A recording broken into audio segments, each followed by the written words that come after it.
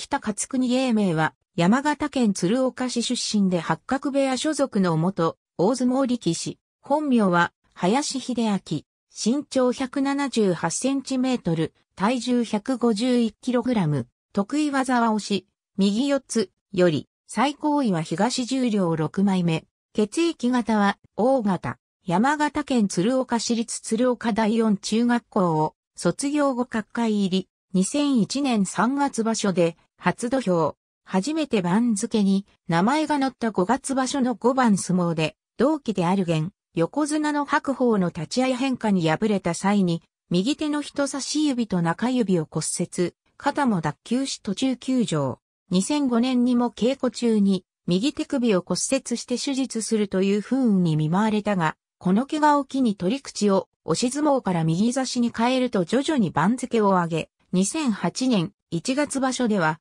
西幕下3枚目で5勝2敗の好成績を収め、翌3月場所において新重量昇進を果たした。しかしその場所は6勝9敗に終わり、1場所で幕下に陥落した。その後は幕下上位に定着していたものの、古傷である右手首の状態が思わしくなく、再び手術を行ったもののさらに状態が悪化し、西幕下5枚目の位置で迎えた2009年5月場所、から6場所連続で全休した。2010年1月場所後に骨の一部を除去するという3回目の手術を受けた際に、師匠の八角親方は、復帰が2011年になる見通しを示した。2010年5月場所の時点では、関取経験者としては、昭和以降5番目の定地くらいである、東序の口9枚目まで番付を下げ、この場所は、序の口残留のために7番相撲のみ出場したが、次の7月場所で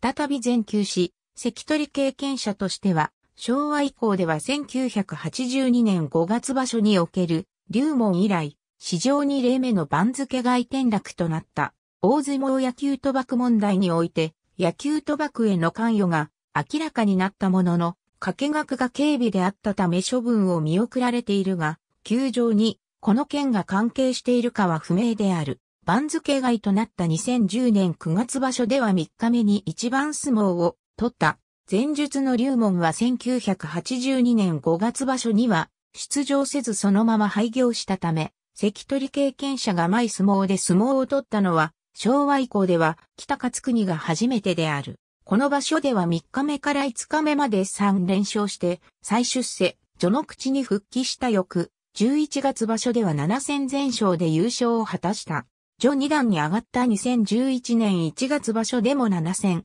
全勝したが、優勝決定戦で敗れ優勝は逃した。3段目に上がった同年5月技量審査場所も7戦全勝で、この場所では優勝決定戦にも勝利し3段目、優勝を果たした。この時点で番付に再び乗ってから本、割では21連勝となった。大相撲やお町問題の影響で5月、技量審査場所においては関取に大量の欠員が出ていたこともあり、2011年7月場所では西幕下9枚目と長期休場する前の幕下上位まで番付を戻した。この場所は初日に敗れて連勝は21で止まったが5勝2敗と勝ち越し7月27日の番付編成会議で翌9月場所で番付外陥落者としては、初となる20場所ぶりに重量に復帰することが決定した。北勝国の場合は、初土俵からの数字ではないが、前相撲に転落した場所から数えて5場所での重量への昇進は、遺体と土佐豊が持つ前相撲から6場所での重量昇進を